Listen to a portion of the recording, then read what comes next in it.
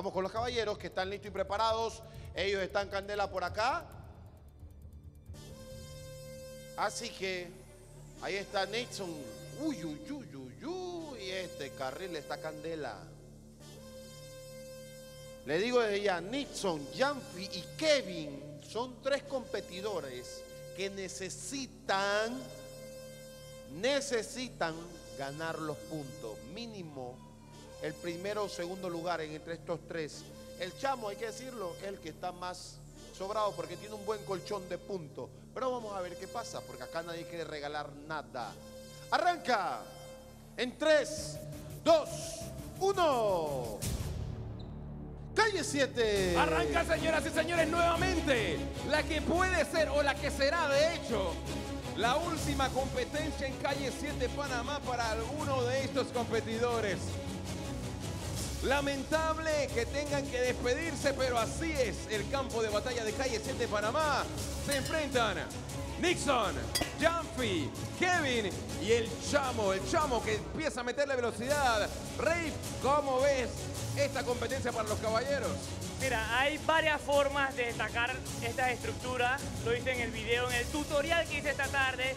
Y en esta estructura triangular, este andamio, en este andamio hay muchas formas de pasarlo. Hay competidores que meten los pies primero, otros que meten un pie y después el otro, y hay otros que se, que se contorsionan, como en el caso de Nixon y el Chamo, y pasan por el medio de ella. Lo demás son saltos, saltos, saltos, y ahí nos vamos al entrenamiento. Una técnica, una verdadera técnica es en esta primera estructura que es bastante estrecha, para no decir otra cosa, estrecha, complicada. Lo demás, puro salto. Y así lo están demostrando por acá los competidores. Jumpy liderando hasta el momento. Se mantiene en la primera posición. Nixon siguiéndolo muy de cerca. El Chamo en el tercer lugar. Y Kevin se mantiene en la cuarta posición de la competencia. Importante lo que ocurra en el resultado de este enfrentamiento. Daniel, un minuto y medio de la competencia. Y los números siguen moviéndose. Y vamos a ver, porque Yanfi ahora se despega del grupo. Y son 400 puntos que se podría llevar Yanfi.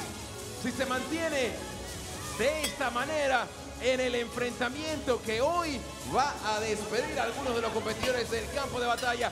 Sigue avanzando, cinco campanadas para cada uno de ellos. Toma el pañuelo Yanfi, toma también el pañuelo Nixon. Viene metiéndole velocidad. Avanza.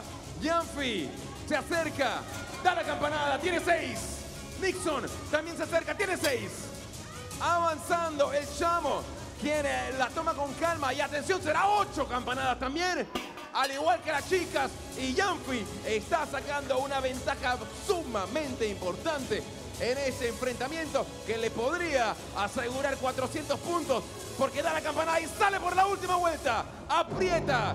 Entonces Janfi, mientras que Nixon todavía se mantiene en segundo lugar, pero Chamo se acerca peligrosamente. También se acerca Kevin. Aquí se va a definir todo. Nixon avanzando. El Chamo también. Avanza Janfi. Le mete velocidad al Chamo. Se acerca Kevin. Viene regresando. Se cierra la competencia. Viene el Chamo, viene Nixon, a ver quién logra dar primero la campanada. Nixon, acercándose el Chamo también y campanada. Transición para el Chamo. Y el último lugar es para Kevin Janfi. Suma los 400 puntos Daniel. Y esto se acaba de complicar. En el punto de partida.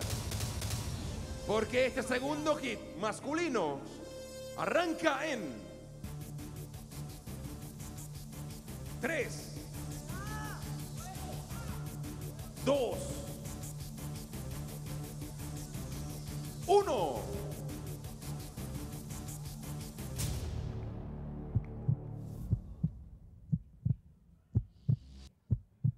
Calle 7. Bienvenidos a la etapa verde, así se pelea, así se guerrea cada punto dentro del campo de batalla, como vimos a las chicas, hasta lo último tratando de vencer, tratando de sacar esos puntos que la pueden colocar en los primeros lugares. Nio avanzando en el primer lugar, el Lobo y el señor Jan Modelo en los últimos lugares, bajo la mirada pendiente de los demás competidores caballeros, a ver qué se está jugando acá, qué está pasando. Saludos para el gran Lucar que está por acá en el campo de batalla. Avanzando. Nio comanda la competencia. Al igual que el señor Gallimore. Ahí está Nio. Da la campanada. Recibe 5 segundos de retención.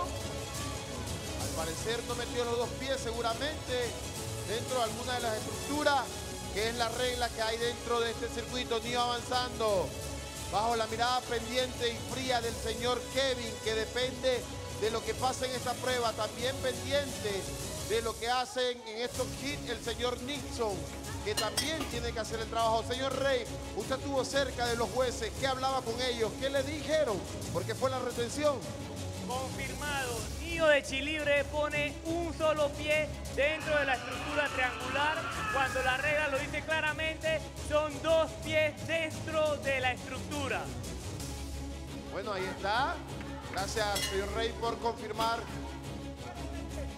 la información por acá. Viene el Lobo avanzando. Ahora es el señor Jan Modelo el que está a un paso del señor Nio y lo marca por delante. Ahora Jan, acá toman el pañuelo prácticamente a la par. La mirada concentrada. Veíamos hace un momento al señor Nixon Guevara, capitán del equipo amarillo. Ahora Lobo toma el primer lugar. Se han estado turnando los competidores. Gianfranco Adame viendo todo lo que pasa desde la barrera. Cinco campanadas. ¿Qué se juega acá? ¿Qué estrategia hay dentro de esto? Los dos rojos quieren pelear para llegar al primer lugar. Vamos a ver porque cuando decidieron apretar los caballos han hecho el trabajo tanto el lobo como el señor Jan Modelo, Nio, da la campanada. Ahora Jan aprieta para despegarse del lobo. Jan Modelo con el pañuelo. Jan Modelo saca una ventaja importantísima. Al parecer se va a quedar con los 400 puntos. El lobo le baja. Sale Jan por su última vuelta. Sale el lobete también por su última vuelta. Nio llegando a la estructura donde hay que colocar los dos pies dentro. Nio da la campanada. Sale por su última vuelta. Si quiere hacer algo tendría que enviarle un envión por acá de velocidad. Vamos a ver Nio. Ya modelo llega, cumple con el circuito de la octava campanada y se coloca en el primer lugar.